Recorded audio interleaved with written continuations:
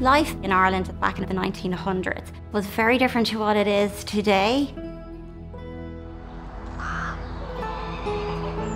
Life was full of drudgery. Ireland still would have been very much an agricultural country, very dependent on the land for its resources. The reality for most people was that they had absolutely no access to electricity. There was no access to running water. They were probably lucky if they were able to take a bath one day a week. People would have had to walk to the local well, and it was really up to women and young children to do the domestic chores. So, really, really difficult times, very physically demanding roles for women at that stage.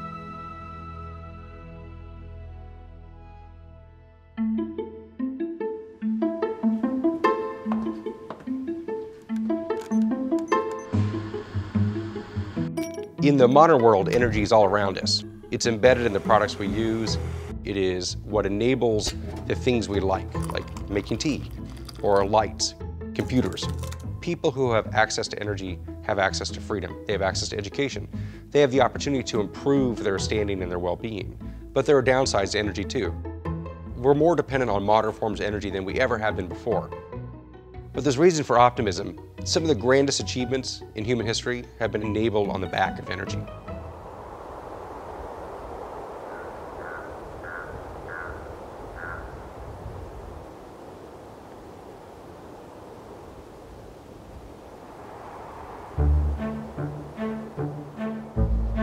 Are you all okay with heights?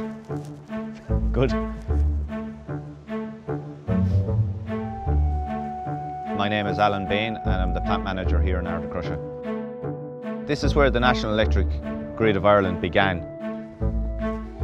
What we can see here now is essentially how it would have looked back in the late 20s. So what we see in front of us here now is the Headrace Canal. To your left, to your right is the intake building and further over is the main station then. All energy has to be created from something. So the water is our means of creating the electricity here. We have a fairly abundant water source. Uh, We get a lot of rain here. So it's a natural progression to use that then to generate electricity.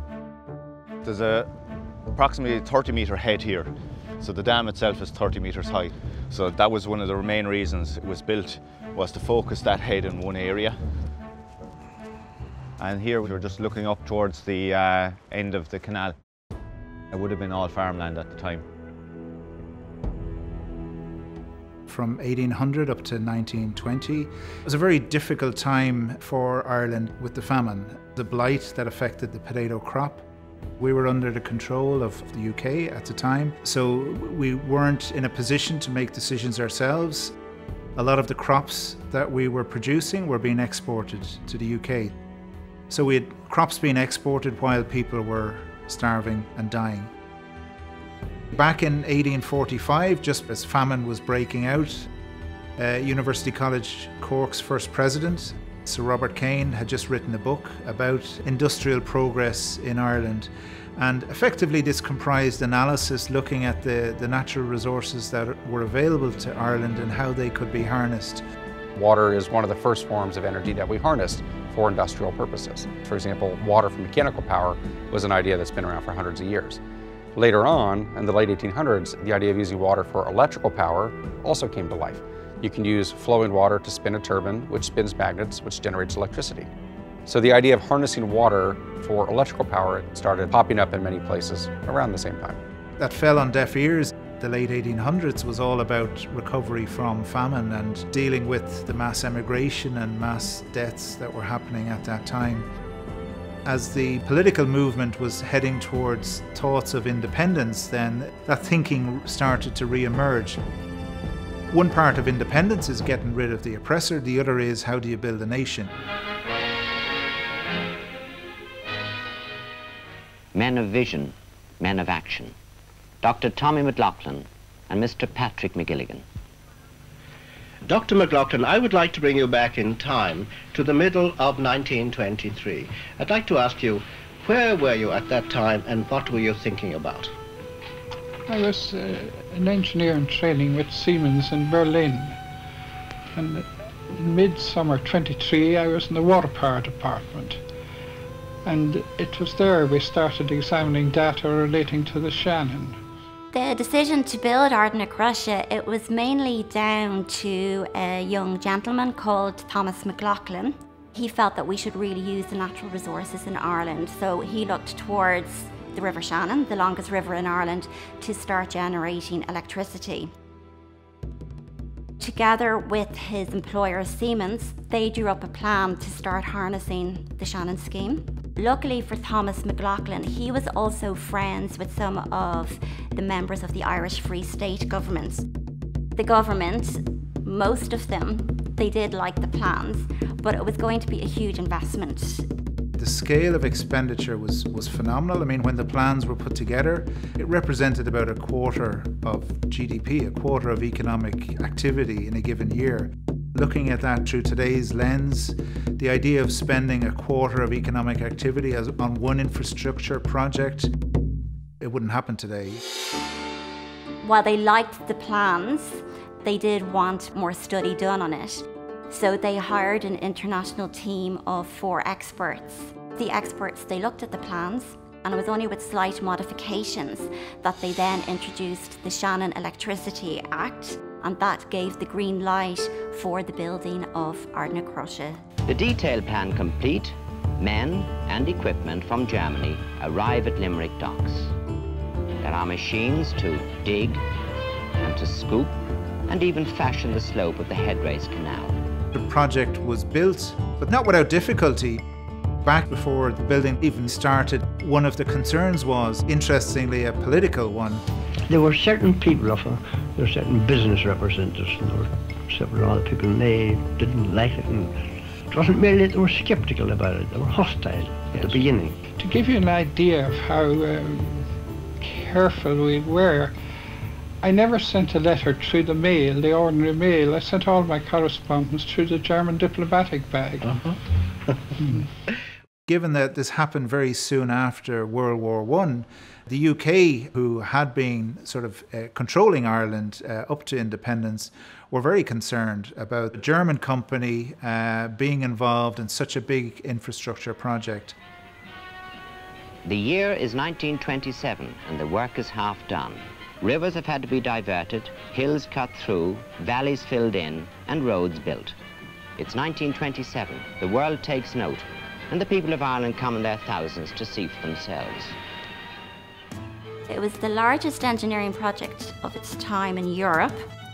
While the construction was still ongoing, they started welcoming people to Ardnacrusha for guided tours of the site and within eight months of opening, 85,000 people had descended on the site, really instilling a sense of national pride and basically for them to buy into the scheme. At the height of the scheme, there were 5,000 workers, and it was really a great collaboration between German engineers and Irish engineers. On the scheme, there was about 1,000 engineering staff and then about 4,000 labouring staff. A lot of them, they just wouldn't have had experience, and because it was such a large construction site at the time, unfortunately, there were some fatalities as well. The people that worked on the scheme, they are very much remembered here, and there is a monument to those who, who lost their lives on the scheme.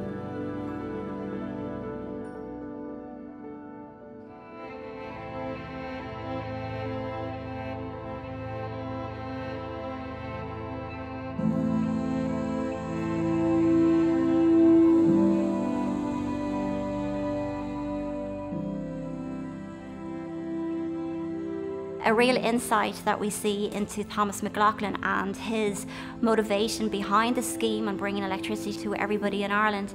He said that no sincere student could have lived through that entire sense of national enthusiasm without doing as much as possible to build the country from within, and that he could have no mental peace until he saw the Shannon scheme realised.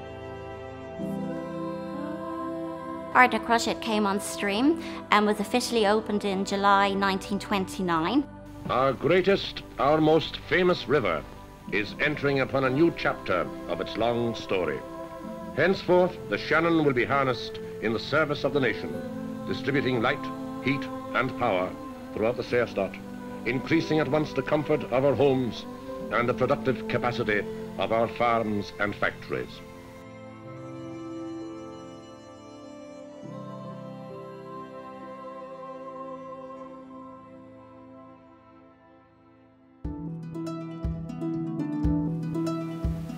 So at the moment we're standing at the front of Ardnacrusha, the main building. So to the front of the building you can see lines going out to all the different substations in the different areas and villages, supplying farms, homes, all that kind of.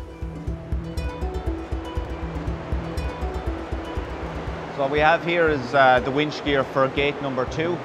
So the gate hangs off these chains and basically you can raise or lower the gate using this winch gear. It's all powered by electric motor. Everything is riveted, there's no welding. Uh, welding hadn't been suitably developed at the time, so everything is riveted together here. From here we can see the three uh, generators. So we have the water coming down the penstocks, goes into the turbine and that rotates the turbine.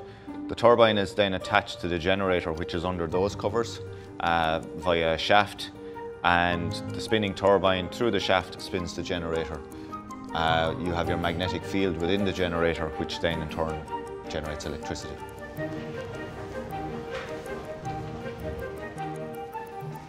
This is the old control room, as we call it. That's a mannequin, he just represents an, an old control room operator. Adds a bit of life to the place. This was in use up until 1997 when we transferred to the new control room at the other end of the building. Um, you can see all the dials, switches that were used to run the machines up until then. That's all now essentially two computer screens. Everyone here has a huge pride in the, the place itself because uh, we're very conscious of the fact that this will be here long after we're all gone.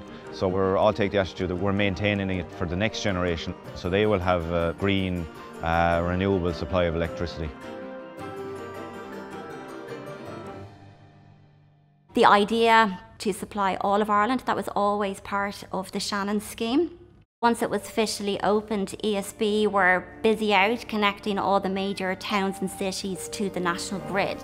The nature of the terrain varies a good deal in Ireland, and some of the areas are harder to conquer than others. But throughout the 1930s, rural Ireland, they still weren't connected to an electricity supply. However, World War II broke out in Europe. Raw materials were in scarce supply. So while plans were underway, they had to wait for World War II to be over.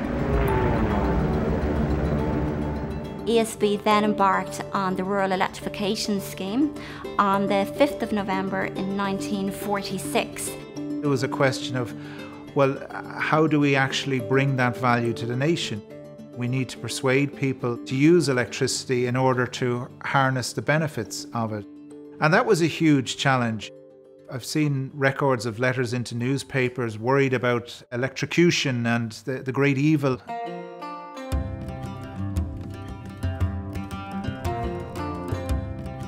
The idea for selling it to the, the public of Ireland was very much in terms of educating people.